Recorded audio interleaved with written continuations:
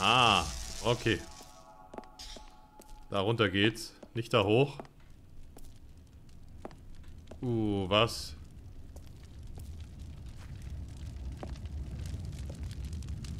Die ganzen Kinder, aber sie machen nichts. Äh. Oh, nicht schon wieder. Au, au, au. Wo denn?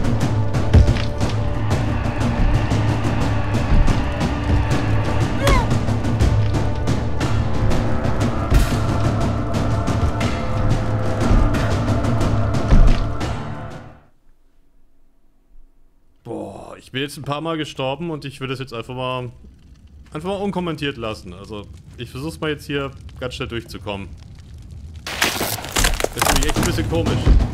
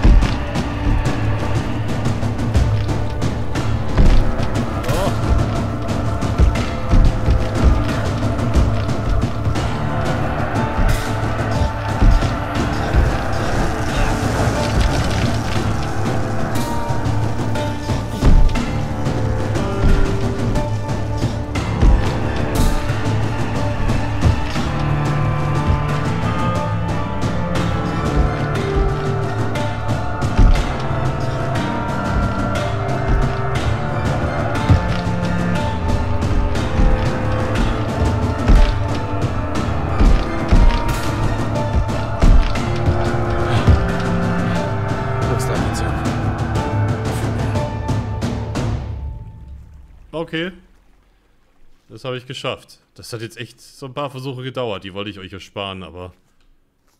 Ja, die, die Fluchtsequenzen sind schon ganz nett, wenn man weiß, was man machen muss. Ansonsten ist es ein bisschen frustig, weil es immer wieder so weit zurückgesetzt wird. Leider. Boah, es ist echt alles so richtig kaputt. Alles eine Beton und Stahl und... Hast du nicht gesehen? Ich da runterspringen? Oh, nee.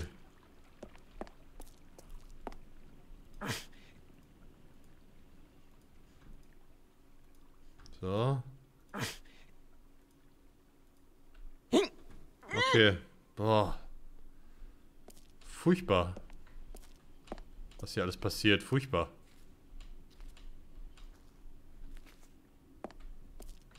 Kann ich da... Oh, okay.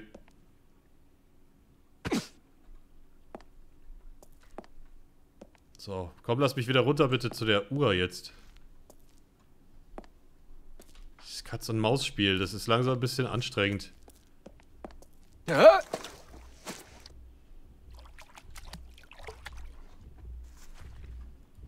Ah. Na gut. It's funny. I always thought my life was totally ordinary. The kid, the family, the mistress, the divorce. Nothing really special these days. But why was I the one chosen to pay for that? I never wanted to do anything evil to anyone. How many similar stories are out there? And does everyone eventually end up like me? Du wolltest niemand was Böses. Was hast du mit deiner Tochter alles getan, ha? Oder da krieg ich echt einen rauen, Hals, wenn ich da... Das ist wieder ein Herz. Ich wollte niemandem was Böses. Also komm, das kannst du dir echt sparen, Daniel.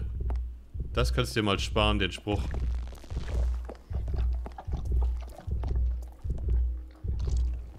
Piers brauchst nun. Na komm, stich zu.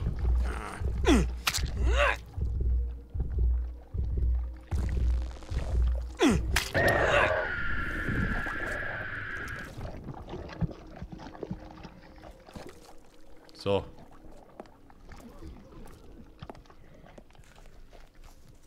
Mal sehen, komme ich jetzt hier rüber irgendwo? Da. Nee, da sieht alles ein bisschen fies aus. Warum seid ihr noch hier? Doch alles kaputt gemacht.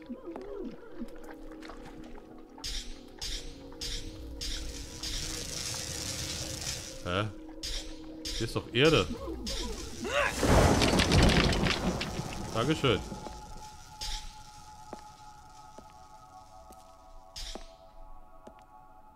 Oh, diese ätherische Musik.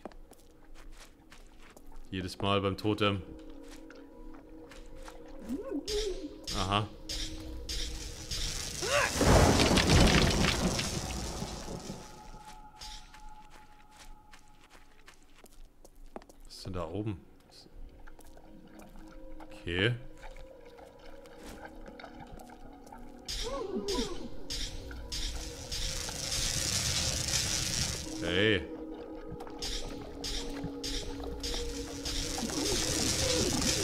Also komm, da ist doch Boden. Oh, ist das doof. Uh. Schön.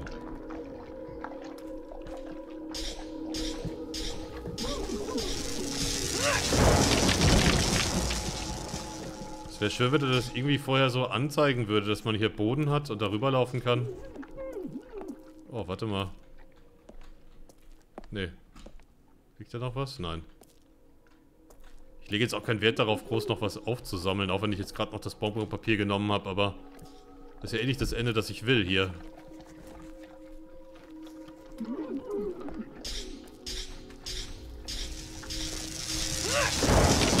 Ja, da wo ein bisschen was wächst, da geht es auf jeden Fall immer, aber man sieht es trotzdem blöd. Sieht aus wie Matsch auf dem Boden und dann kann ich da trotzdem kein Totem drauf platzieren.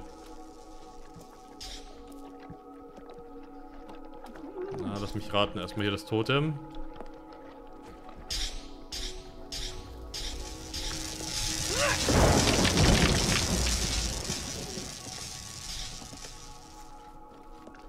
Boah. Der wackelt aber auch so beim Balancieren. Die ganze Zeit. Daniel.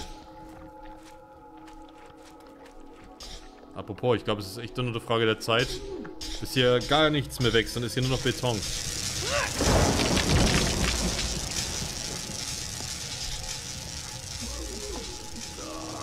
Fies. Die ganzen festgekrotzten da.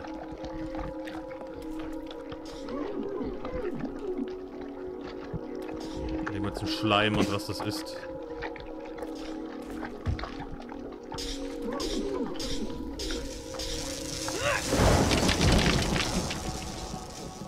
Oh, ein Gitarrenlied.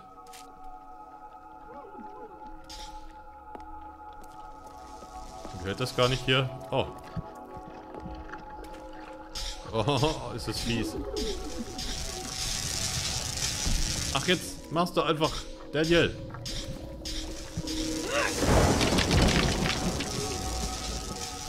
Stell ich nicht so an und hau das irgendwo in den Boden rein jetzt. Das Totem. Hm.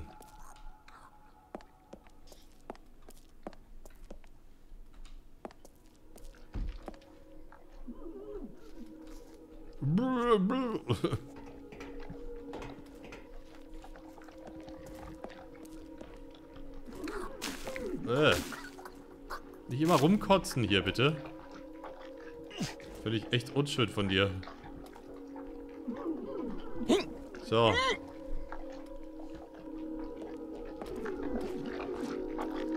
Ah, ich finde das immer so unheimlich, diese, diese Gestalten hier, was die...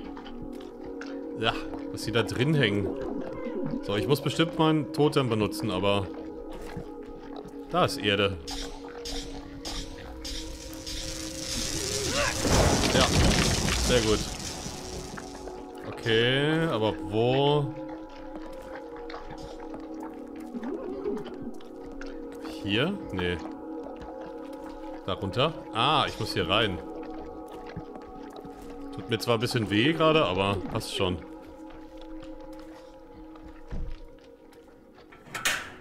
Oh, ich habe gar nicht durch die Klappe geschaut. Vielleicht... Uh. Hätte jetzt auch dumm ausgehen können, aber... Na gut, die Rücksetzpunkte sind jetzt nicht so wild, finde ich. Hä, nee, warte mal.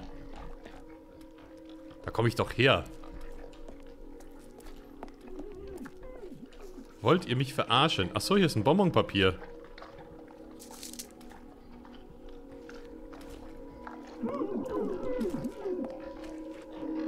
Toll, jetzt ist hier wieder die Platte drüber.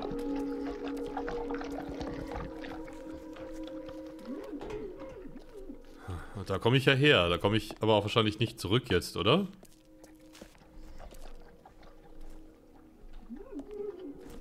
Na, wie gesagt, da komme ich her, das bringt nichts. Da gehe ich nicht zurück.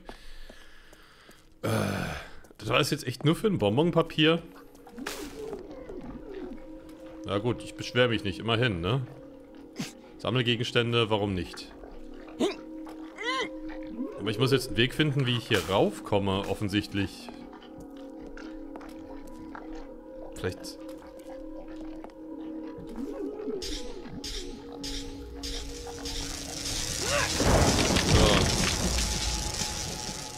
Das da geht alles hoch. Ach hier, da kann ich jetzt wieder eins setzen. Ja toll, dann fällt mir das Teil auf den Kopf, oder wie?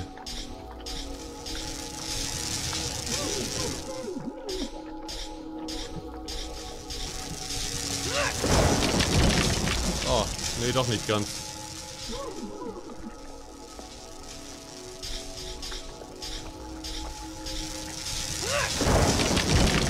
Alles klar, okay, das funktioniert so. Schätze ich. Muss einfach nur schnell sein. Okay, wenn ich klettern kann, ist alles gut. Ich glaube, hier erwischt mich dann nichts. Was ein komisches Rätsel. Das erste Mal, dass wir sowas machen müssen.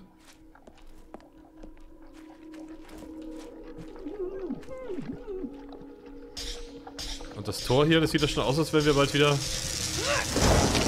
irgendwo, wo es ein bisschen normaler wird. Vielleicht wieder an der Kapelle. Wo es dann im Endeffekt wieder runtergeht zur Uhr. Huch, was ruckelt das hier so? Oh Mann. Sieht ja heiß aus. Komme ich auch nicht wieder hoch. Oh Mann. Oh Mann. So. Ich glaube, zum Schluss jetzt wird es eine ganze Menge Kletterei geben, ha? Na komm, greif rüber. Äh. Nee, geht nicht. So geht's. Ah. Wir kommen auf jeden Fall immer höher, das ist schon mal gut. Oh, was? So, you finally made it here. How the hell did you get here first? There's no way you could survive what I just went through. Mind your language, young man. Maybe you underestimate old people, or my story is not as complicated as yours. Either way, the only thing that matters is you're here. So is the clock nearby. How can I destroy it? I saw how you tried to smash the Corsilla, so I'm sure you have the power to stop the clock. You can either stop it or smash it. Up to you. But before you can do this, you need to find your answers. You need to understand why you promised you would never return to this place. Answers? Look at the graves. They contain countless stories. Someday you'll return to claim one of these, and everything you went through will be buried with you as well. Tja, dann Are you passt es ja saying auch. that everything is pointless? Mit dem That no matter what I do, it'll all end up at the bottom of a grave? Now, follow me. Tja, so ist das Leben. Ich meine, im Endeffekt sterben wir alle mal, oder? Ob du jetzt ein glückliches Leben führst oder ein trauriges, es ist total egal eigentlich. Es schützt dich nichts davor. Wir werden alle älter, die Zellen verfallen und irgendwann... Tja. Ach so, ihr habt auch gefragt, was ihr für einen Akzent hat. Ja, das hört sich definitiv an wie ein schottischer Akzent. There is someone who wants to meet you right now. Here? In this wasteland? Eleonora kann es nicht sein, oder? Die Enthüllung, The Revelation. Vielleicht die einzige, die noch da ist, die Person wäre die dunkle Stella, aber die kommt ja nicht hier. Und die dunkle Stella ist ja auch nur das, was er mit ihr gemacht hat, wenn man es so will. Er hat sie dazu gemacht, dass sie alles so negativ sieht. Überleg mal, so ein kleines Mädchen. Oh, das ist wirklich Eleonora. Aber auch nur in seinem Kopf natürlich. No Nice to see you too, Daniel. But how? I wanted to apologize. What? You you couldn't have survived such a fall. I was so pissed off when I realized who you really are. But even with the whole world turned upside down, you're still here. It made me think maybe you're not looking for Stella. Maybe you are looking for yourself. I shouldn't stop believing in you. Obviously, she doesn't want to talk about her fall, and I have my doubts about what happened after that. It's not natural that I'm alive either. The real reason I was so angry at you is that I lost a child as well, and I felt that, unlike me, you actually had a chance to find yours. Ella, I'm so sorry. I, I don't know what to say. What happened? He was still unborn, and I was forced to do it. But I don't want to talk about that anymore. Last time we met, you mentioned a letter. Can you give it to me now? I destroyed it. How could you? It was my last clue to find Stella. I don't think you need any more clues, Dan. You just need to understand who you really are. And reading that letter would not help you. Even now, you're not ready for what was written there. And you. Why are you still here? I don't have any other place to go, Daniel. I never did. Now that the world is destroyed, you sentenced me to stay here with you. But now you have to go. It's time for you to find the truth. Will I ever see you again? Please. I'm sure you will.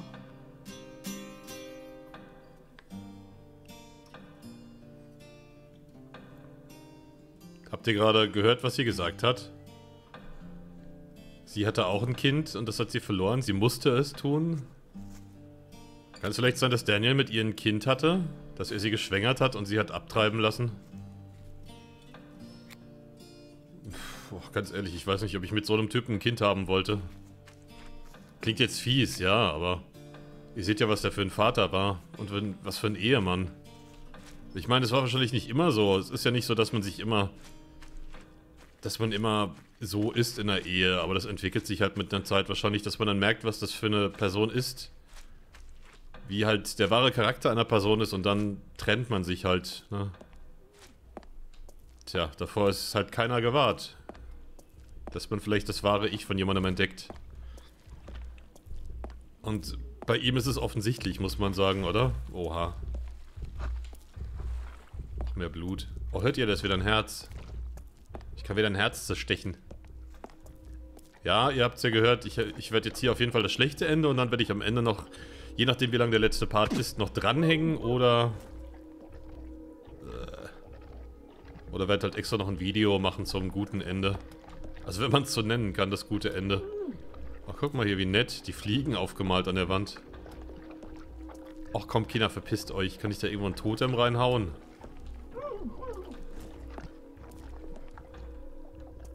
Natürlich nicht. Diese Schneckenmenschen. Warum machen die das einmal und dann wieder nicht?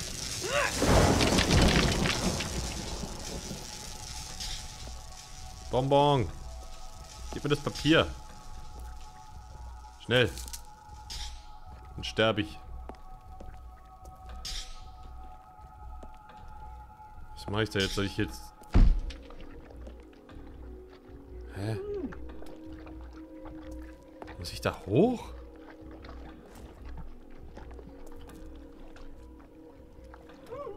Geh weg.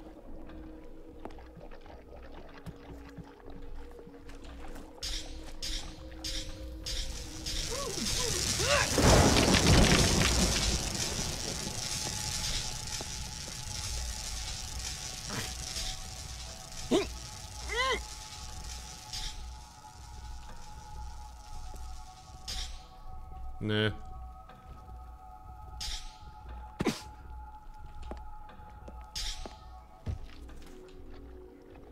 Ich weiß nicht, was ich hier machen soll, ne?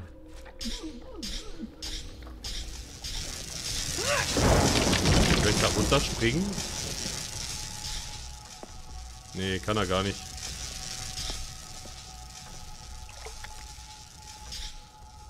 Aber ich habe gerade keine Fliegen dabei. Nothing happened. Tja. Warum wohl?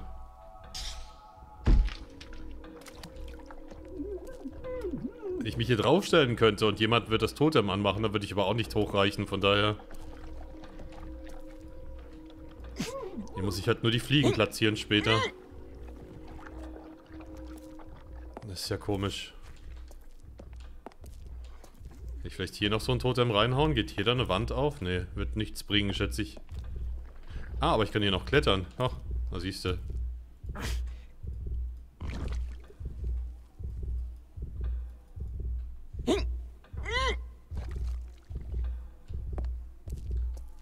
Und ich komme dem Herz näher hier. Hoffe ich. Oha. Wieder ein Camp? Ist das das alte oder das zweite Camp? Also das erste oder... Oh, warte mal. Was brauche ich hier nochmal für eine Potion? Ach. True Sight vielleicht? Inner Eye? Ich glaube True Sight war es. Ja. Hey, you're awake. Yeah, I just wanted to apologize. Apologize. For what? You know, you've always been so nice to me. Ja, und dann hast du sie einfach hängen lassen. True Sight. Ach, da war es ja schon. Mandrake. Äh, guck, Crushed Mandrake Root. Throw into whole Psilocybes. Crush and add to Henbane Leaves. Two, ja. Und finally, add Crushed Devil's Trumpet Root. So. Ich mache mir noch schnell eine auf Vorrat. Wer weiß, ob ich nochmal was brauche. Besser ist es.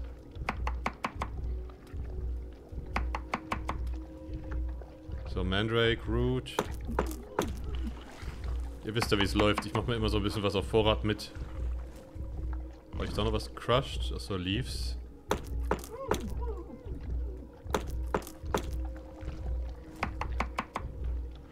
Ich würde gerne mal so eine, so eine wissenschaftliche Analyse oder so eine Psychoanalyse von den ganzen Sachen hier. Also es gibt ja auch bei es gibt ja auch bei Silent Hill sowas, dass da immer irgendwelche Monster sind und die sind alle gleich gekoppelt mit der Psyche des Protagonisten. Oh, guck mal, der Teddy. Und die klauen ihm die Büchsen. Der hat sich hier versteckt. Also was weiß ich, da kommt jetzt so ein Vieh, das hat halt so ein komisches röchelndes Atmen. Das ist dann irgendwie ein Verwandter mit einer eisernen Lunge, der daran gestorben ist. So ein Trauma, ihr wisst schon, ne? Sowas in der Art. Ach guck mal, das Zeichen kennen wir doch. Aber ich find's so schade, dass ich nicht mehr zurückgehen kann und das alles noch lösen kann. Das ist so doof, irgendwo. Ja, locked. Locked. Vielleicht aufkneifen? Ja, locked. Ja, ja, Locked. ja. Oh! Ich kann den Schlüssel hier doch benutzen. Das gibt's ja gar nicht. Den habe ich schon ewig lang, den Schlüssel. Ein Brief an Nina. Hey. Mh, was? Diesmal habe ich einen wirklich, wirklich langen Pfad der Courage für sie vorbereitet. Triff mich um neun, du weißt wo. Lasse dich nicht sehen und lass mich nicht warten dieses Mal. Ich lasse das Feuer brennen. Aha. Hat er den geschrieben? Ich sollte nicht. Also hat er schon... Hat er seine Frau schon länger betrogen? Und Nina ist ja Eleonora, wie wir wissen. In Wirklichkeit. Da guck mal. Da sieht man auch schon, die Hand mit dem Ring ist er, weil er verheiratet ist und sie... Also die andere Hand, entweder ist es auch seine oder das ist die von Eleonora, die nach seiner greift. Also hat er seine Frau auch noch betrogen und hat noch eine andere Frau geschwängert, die dann abgetrieben hat. Super Kerl, ne? Hatten wir ja schon mal. Ich will jetzt nicht so weiter rum... rumhetzen und rum... Ich werde mich nicht weiter aufregen über Daniel, sagen wir es so. Guckt euch mal an, das ist ein Glas mit kleinen Ärmchen drin. Wie süß. Auf den ersten Blick ein bisschen eklig, aber dann irgendwie ganz niedlich. Also das, was wir hier immer haben, nur in klein. Ach, wie knuffig. das ist ja witzig. Too nice. Don't sweat it. no, I mean it. I just hate him so much. Ich frag mich ja, was da passiert ist zwischen den beiden, wenn die sich erst so gut verstanden haben, sogar ein Liebespaar waren. Warum ist er dann einfach abgehauen?